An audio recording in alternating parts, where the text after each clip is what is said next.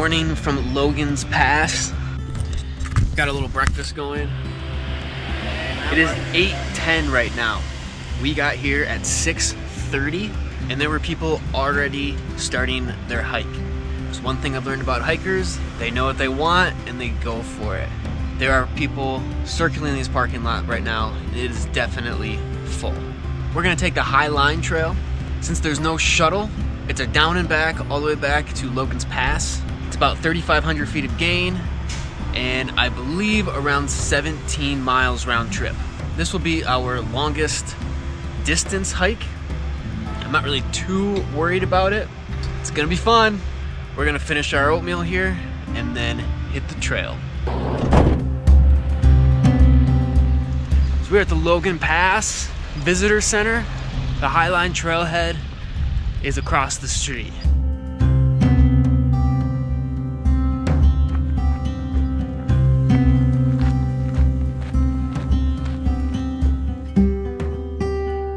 Watch us started and the journey begins. I'm quite excited for this one. It's kind of challenging. It's in our favorite park so far. I might not look at the camera a whole lot because, wow.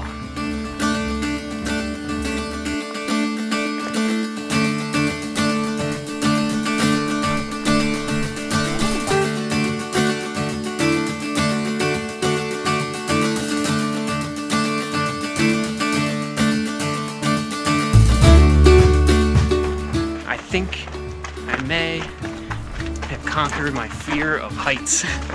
This doesn't bother me at all. We're really far up here, living on the edge. Oh, and tripping too.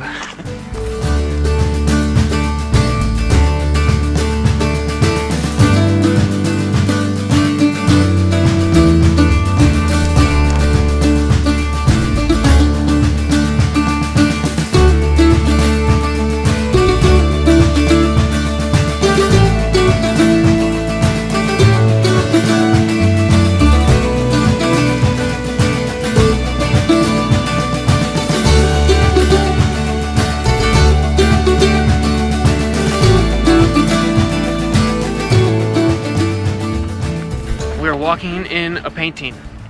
There's no other way to describe it. Somebody painted this, pretty sure. Probably Bob Ross.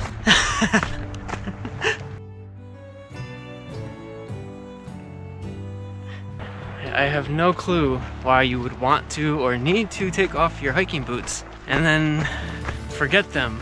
It's a little concerning. No scenarios fit.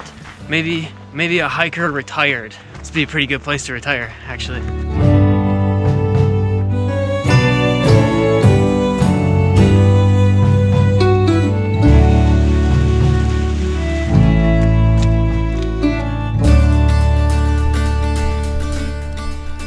I would like to point out that we have seen on this trail this morning ages ranging between probably five years old to 70 something.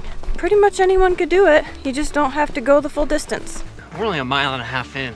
You do not have to hike 15 miles to get these views here at Glacier National Park. Go hike a mile in, sit there, eat lunch, do whatever you want to do. It's going to be amazing no matter what.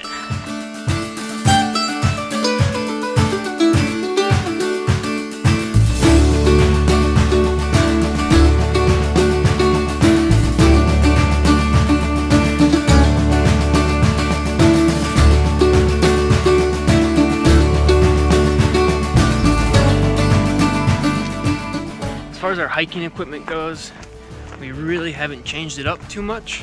We brought our one pair of trekking poles because we've learned our lesson on descents on long hikes in the past. If you want a list of what we normally bring, I can link it above.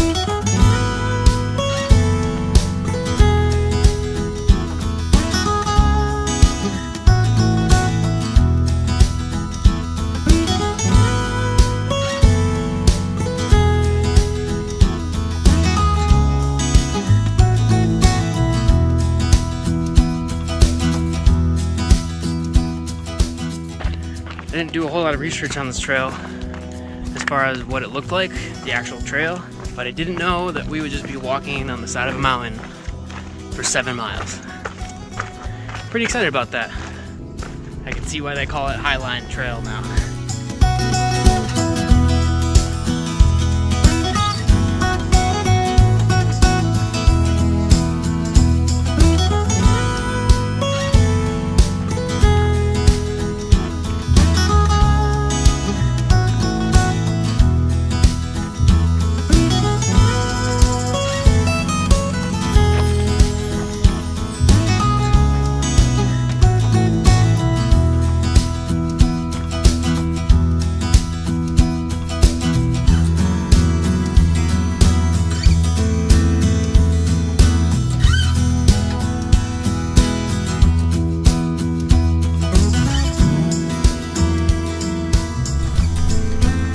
Looking forward to that. Not even a little bit.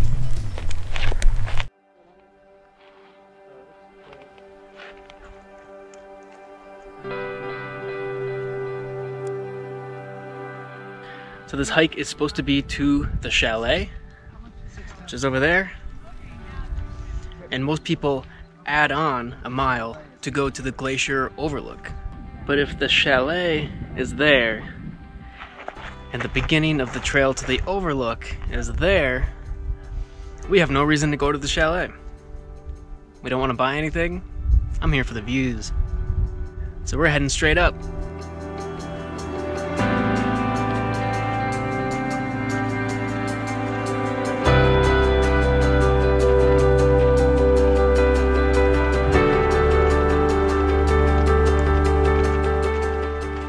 I think I mentioned, but there's a thousand feet of gain in less than a mile. Feeling the burn.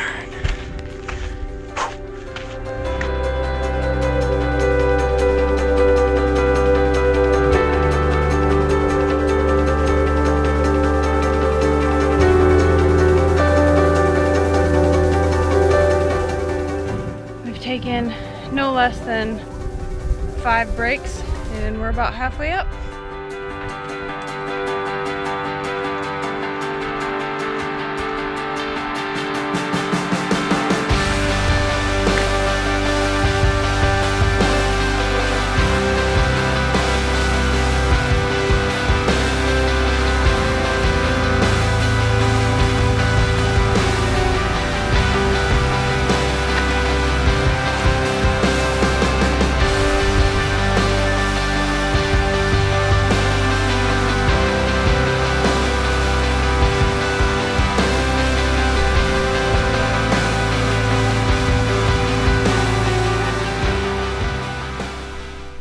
The last little stretch was not fun in any way, shape, or form, it is worth it.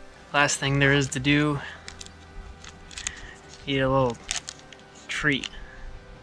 I bought this saltwater taffy outside of Roosevelt National Park. Mm, that might become a new tradition.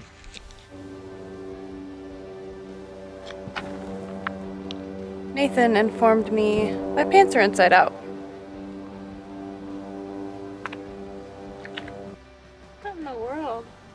Crazy. Crazy cute. Ready? And now the descent.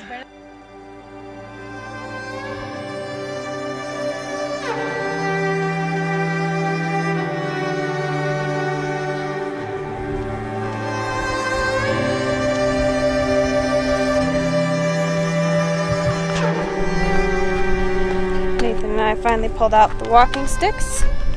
I gotta say, I noticed the difference and I actually like it. So on your way up, your motivation is the payoff, the view, the end. On your way down, your motivation is what am I gonna eat? So far we're landing on a big burrito or a large pizza or 14 tacos. Specifically 14. We've made it to the bottom of that little extra mile. Now we only have a seven mile walk back to the car. At least it's like home and not just a car. It's not too hot. We may take a nap. and then eat some pizza. I guess we're settling on pizza. Better be good pizza. I want tacos. I know we haven't walked the seven miles back to the van yet. We're gonna rate this trail a six and a half to a seven, only to the ascent up to the Glacier Lookout. But when you add on the Glacier Lookout, I'm calling this like an eight. Down didn't seem too bad. That up, I saw everybody struggle.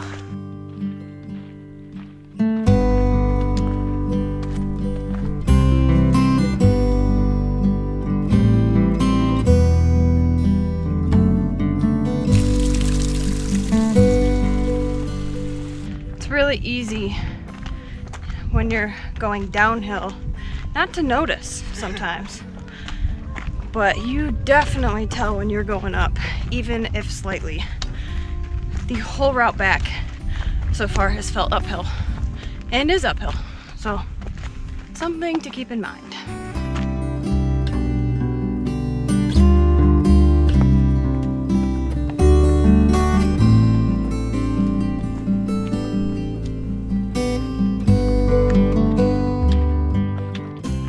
This is absolutely beautiful. But honestly, this trail can end anytime now.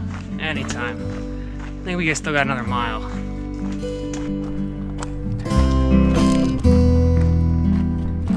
The fact that we see this rope now means we are very close, and that is very exciting. It's such a beautiful sight. How are you feeling? We made it. So that was 16 miles in just under eight hours. That was tough. After eight hours on a trail, that is not the sign you want to see, because there are no bathrooms at all on that trail, by the way. Turns out someone discharged their bear spray inside the bathroom, and that is why it's closed. Yeah. Do you want any plates?